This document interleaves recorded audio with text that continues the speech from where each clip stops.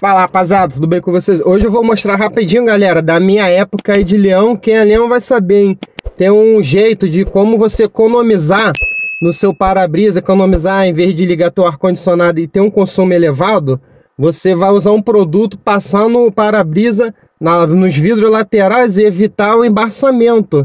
Isso é muito bom, essa dica tem muitos canais, mas na minha época de leão, que eu usava nos ônibus, eu usava esse produto e era uma ajuda maravilhosa, era uma mão na roda. Então, galera, eu quero passar para vocês, mesmo tendo em vários canais, mas não custa nada eu falar uma experiência que eu tive e eu testei no meu carro, sempre faço e, e deu certo e eu quero passar para vocês. Olha só que eu vou mostrar o que, que eu fazia para desembaçar e continuo fazendo até hoje, tá, galera? O produto que eu uso é esse aqui, tá, galera? É, ele é mais concentrado, mas qualquer marca serve.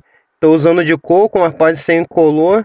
Eu tô usando a bucha porque eu não tenho um paninho aqui, mas o ideal é um paninho. Você vai usar um pouco assim, ó, não muito, tá? Para não encharcar teu carro, é um pouquinho só.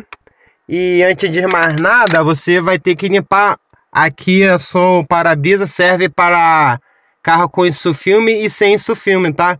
Você vai limpar aqui seu para-brisa primeiramente para não misturar sujeira com detergente. E vai aplicar assim, ó. Você vai indo aplicando.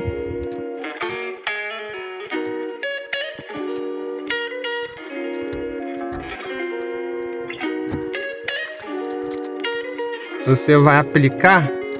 Por isso você tem que usar pouco para evitar de fazer espuma. Eu tô aqui com, com a esponja amarela, mas o ideal é você usar é um paninho para até mesmo evitar de arranhar o seu e o sufilme, como esse sufilme meu aqui não tá muito bom, eu tô usando aqui a parte amarela da, da esponja, que eu vou trocar esse sufilme aqui. Tá vendo? Você... Eu tô fazendo de modo rápido aqui para não prolongar o vídeo. Aqui, ó. Você vai, ó, nem parece que tem. Ó, você vai passar e depois vem Dá finalizar com o paninho de modo que não fique espuma muita coisa. Por isso que não pode usar muita coisa para não dar espuma. E aqui na lateral também, ó, no teu espelho, tu vai usar. E aqui no outro também. Após você fazer isso, você vai ver o resultado aí na chuva, né, galera? Que é uma mão na roda, o carro não embaça os vidros de jeito nenhum. vou deixar aqui um vídeo que quando eu tava trabalhando, eu tive um tempinho e gravei para vocês como que ficou no dia de chuva após eu passar o detergente, tá, galera? Na minha época de leão usava com álcool, um pouco álcool e um pouco de detergente.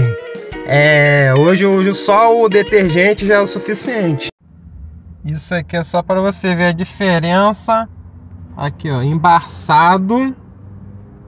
E aqui onde eu passei, ó, bem clarinho, ó. Aqui já você já vai vendo Aqui, ó, a diferença, ó. Embaçado e onde eu passei no limpinho, onde que é para você ver o retrovisor. Eu vou subindo, ó. Tudo embaçado, não enxerga nada. Aí, limpinho. Aqui na frente, tudo limpinho. Ó, onde eu passei. Tá limpinho. Aqui também, ó o retrovisor limpinho. Você vai indo pro lado, ó, já, já vem embaçado. Aí vem aqui. Tá vendo, galera? Isso aqui eu só passei só com detergente. Dessa vez eu não passei o álcool.